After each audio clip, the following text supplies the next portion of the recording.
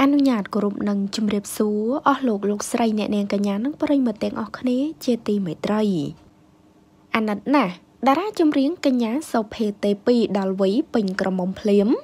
ចេញអត់ស្វាយពេញខ្លួននឹងមុខថែមទៀន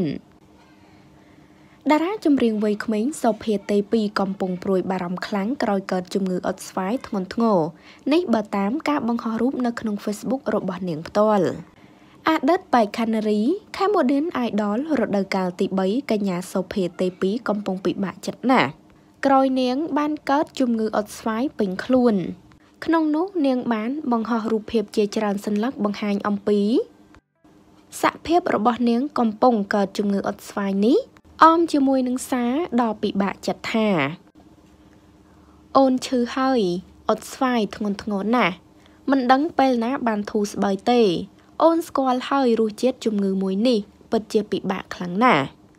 ទន្ទឹមនឹងនេះសុភេទេពីក៏មានការព្រួយបារម្ភជាខ្លាំងចំពោះសម្រស់របស់ខ្លួន ដោយក្រោយជាពីជំងឺប្រកាសជានៅមានស្នាមយ៉ាងណាមិញក៏សូមជូនពរឲ្យនាង ឆាប់ជាពីជំងឺនិងឆាប់វិលមកធ្វើការជាធម្មតាវិញចានេះគឺជាសភាពរបស់ញឹមសួនសុភេទេពី ដែលនាងកំពុងតែមានជំងឺអត់ស្វាយយើងឃើញថាឡើងឡើងពេញមុខនឹងខ្លួនតែម្ដង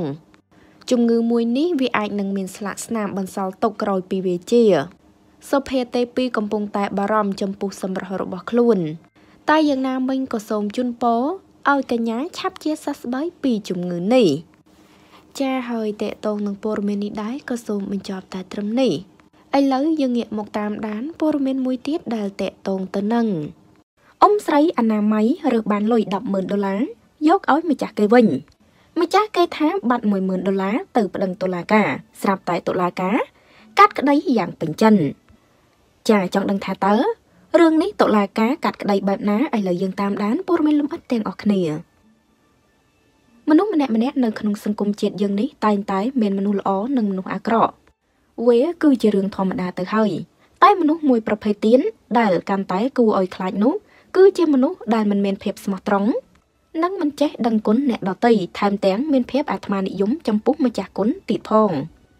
ដោយឡែកអ៊ុំស្រីម្នាក់ដែលគាត់មានការងារជាអ្នកអនាម័យខណៈពេលដែលគាត់កំពុងតែបំពេញការងាររបស់ខ្លួន ស្រាប់តែប្រទះឃើញលុយមួយចំនួន ដែលមានរហូតទៅដល់100000ដុល្លារក្រោយមកដោយសារភាពស្មោះត្រង់របស់អ៊ុំស្រី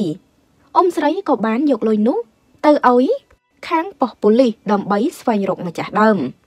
មួយរយៈពេលក្រោយមកប៉ូលីសក៏បានរកឃើញម្ចាស់ដែលបានបាត់លុយទាំងនោះតែអ្វីដែលមានការហួសចិត្តនិងនឹកស្មានមិនដល់គឺម្ចាស់លុយនោះបាននិយាយថាលុយរបស់គាត់មិនមែនចំនួន100000ដុល្លារនោះទេគឺមានចំនួន110,000ដុល្លារហើយក៏បានប្តឹងទៅតុលាការថាអ៊ុំស្រីបានលាក់លុយដែលបានបាត់នោះជាមួយគ្នានេះចៅក្រមដែលជាអ្នកកាត់ក្តីគឺត្រូវជាកូនស្រីរបស់អ៊ុំស្រី ហើយចុងក្រោយអ៊ុំស្រីត្រូវបានតុលាការសម្រេចកាត់ក្តីឲ្យលុយទាំងអស់នោះដែលអ៊ុំស្រីរើសបានคล้ายទៅជាម្ចាស់កម្មសិទ្ធិរបស់អ៊ុំស្រីដោយសារតែម្ចាស់លុយដែលបាត់ធ្លាប់បាននិយាយថា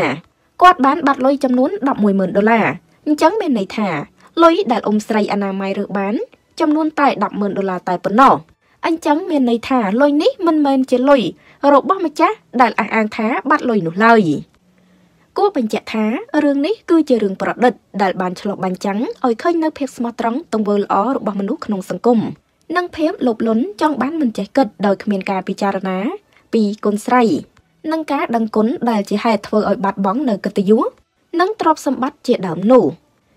ចានេះគឺជារឿងប្រឌិតមួយដែលនិពន្ធឡើងសម្រាប់ធ្វើការអប់រំហើយក៏បានឆ្លុះបញ្ចាំងអំពីតថភាពពិននៅក្នុងសង្គមយើងបច្ចុប្បន្ន ដោយសារតែភាពមិនស្មោះត្រង់និងលោភលន់ម្ចាស់លុយដែលជ្រុះបាត់100000ដុល្លារហើយក៏ហកថា110,000ដុល្លារនោះត្រូវបានបាត់បង់លុយទាំងអស់បើសិនជាគាត់ទទួលយកថាលុយនោះគឺពិតជាលុយរបស់លោកចំនួន100000ដុល្លារពិតមែនលោកក៏មិនបានត្រូវបាត់បង់លុយទាំងអស់នោះដែរការកាត់ក្តីរបស់តុលាការនេះគឺពិតជាយុត្តិធម៌និងពេញចិត្តខ្លាំងណាស់ចាតើប្រិមិត្តយល់យ៉ាងណាដែរសូមចូលបញ្ចេញមតិម្នាក់មួយ តកតងនឹងអត្ថបទនេះដែរក៏សូមបញ្ចប់តែត្រឹមនេះអរគុណបងប្អូនទាំងអស់គ្នាសូមចុច Subscribe និងរូបកណ្ដឹងដើម្បីទទួលបានអត្ថបទថ្មីៗជាបន្តទៀតសូមអរគុណសូមគោរពលា